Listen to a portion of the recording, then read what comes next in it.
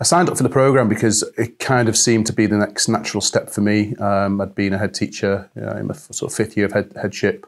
Um, I'd done NPQH many years ago, and I felt really I needed to develop myself. Um, I'd kind of got into a position where I was, I suppose, comfortable in what I was doing, and I wanted to sort of have a different outlook and and think also about the next stages of my career. Um, obviously, with the growth of, of MATs around the country, there's more opportunities for executive leadership. So it seemed to uh, tick all the boxes.